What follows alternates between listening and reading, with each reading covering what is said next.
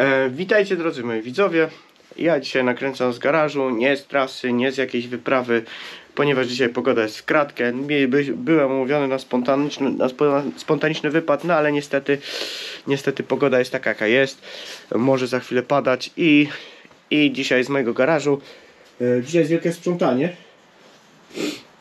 Tu jest mój garaż. Zaraz zobaczycie co w tym garażu normalnie w tym, w tym miejscu, w tym pustym tutaj miejscu, co normalnie tu stoi.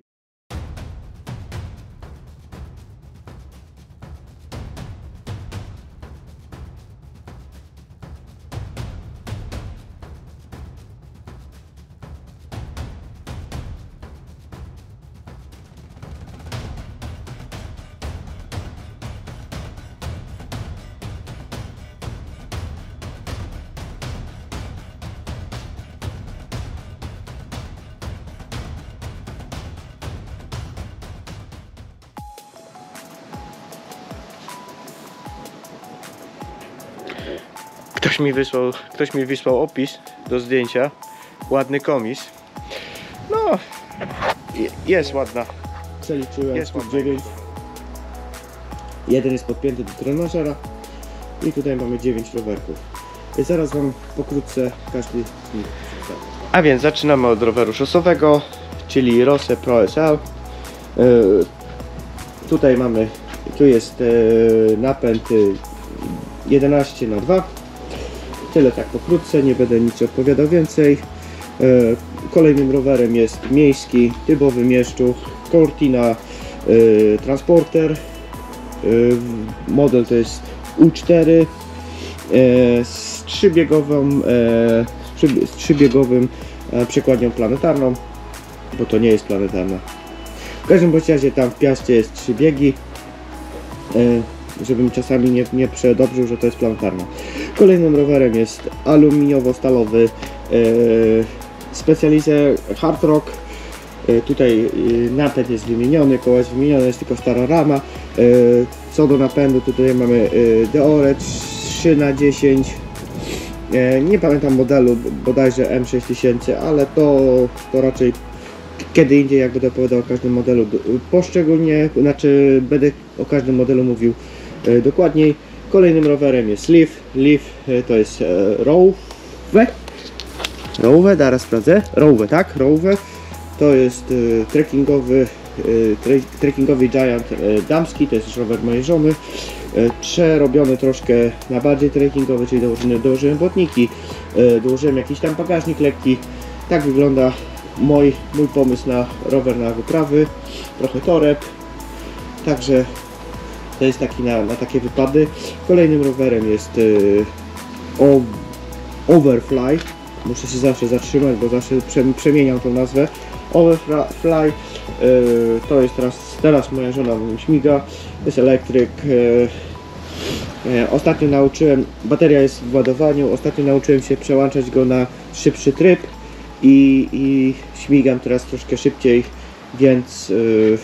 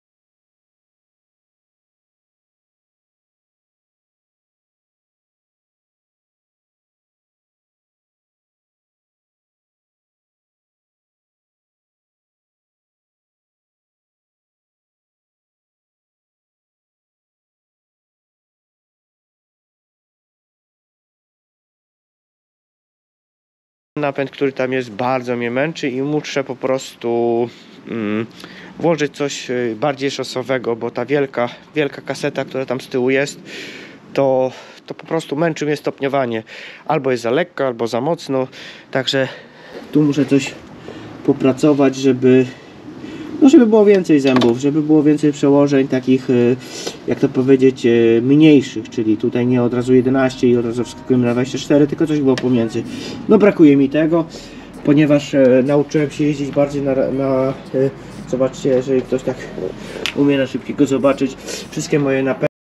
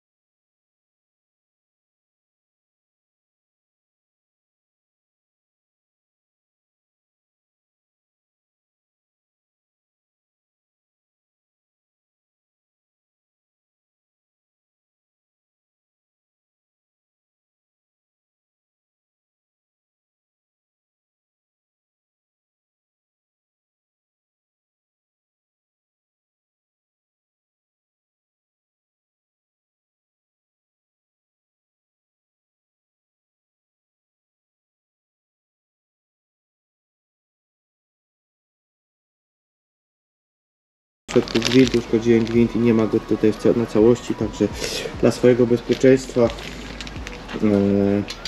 wymieniam hak na nowy, także wejdzie tu nowy hak i, i kaseta. I chyba będę jeszcze tutaj oglądał, coś patrzę, żeby poczyścić i, i zrobić e, hamulce, bo no tu trochę będę teraz, teraz będę trochę działał. zobaczycie efekty i opowiem Wam, co zrobiłem i jak zrobiłem. A więc, żeby nie było przeciągania tego filmu, nie wiem, czy chcecie oglądać tak, jak ja serwisuję. Są trudne filmy, które muszę kilkukrotnie nakręcać z różnych perspektyw, więc e, myślę, że pokażę Wam, e, co chciałem zrobić. To było wcześniej, w pierwszej części, a teraz pokażę Wam, co zrobiłem e, i jak to więcej wygląda. A więc y, tą kasetę, tą framowską kasetę wymieniłem na kasetę po od 105 czyli na taką 1132 wygląda ona teraz tak. E, straciłem teraz przełożenia e, bardzo miękkie a uzy- uzyskałem bardziej, e, przełożenia twarde, szybsze. Aczkolwiek na Holandię to to wystarczy a bardzo mi zależało, żeby w tym miejscu, widzicie, w tym miejscu miał mniejszy skok. Tam jest bardzo duży skok, tam od razu przeskakuje się, nie pamiętam na ile zębów, to są już takie bardzo mocne technikalia, yy, przeskakuje się, yy, tutaj jest ym, inaczej i, i, i jest po prostu inna indeks, o indeksacja. Z tamtej kasety jest niż tej, także wró- wrócę do szosowego, tutaj jest 32 e, 32 e, zęby na, ta, na tarczy z przodu. Także mam nadzieję, że to, to będzie lepsze rozwiązanie niż to, co wcześniejsze miałem, e, przy którym się trochę męczyłem. Także teraz Teraz sprawdzę jak się jeździ na tym. Prawdopodobnie będę płakał na, w terenie, gdzie nie będę miał tych wysokich przełożeń, tych, tych miękkich przełożeń, tych takich podgórkowych. Podgórkowych, ale fajne słowo. Takich, których się bardziej z górki, pod górkę podjeżdża, takich podjazdowych. O właśnie, nie będę miał przełożeń podjazdowych. Będzie mi tu będzie ciężko w terenie, aczkolwiek e, na takich e, mieszanych trasach szosowo, szosowo-gravelowych będzie, będzie już fajnie. I o to mi w sumie chodzi, żebym, żebym się za mocno nie męczył w, w, w takich właśnie mieszanych rzeczach. Bo tam, jak już są takie, takie właśnie proste, to strasznie jestem zmęczony. y, Nie potrafię znaleźć po prostu y, tempa i rytmu. E, dobra, mnie to tu czeka teraz krótka przejażdżka, jak to wszystko wygląda i, i to w sumie na tyle. Jeszcze zobaczymy jak się jeździ. O, ja na małej przyjazdce. Wszystko działa prawidłowo, nic nie hałasuje. Napęd, napęd się sprawuje ok. Wszystkie przyrzutki działają. To hamulec mi osłabł. Nie wiem, to jeszcze zobaczę, może linkę podciągnę. Zobaczę co tam się zrobiło. Ale tak to w sumie można by powiedzieć, że już skończyłem. Dobra, ja już się będę z wami żegnał. Z tego dzisiejszego takiego dziwnego dnia, gdzie, gdzie sobie jeżdżę i, i sprzątam w sumie, także jak vlog, tak vlog, także pokazuję wam też co, co robię poza wycieczkami. Widzimy się może na I kolejnych czy wyprawach, czy, czy takich właśnie filmach luźniejszych. No nic, trzymajcie się.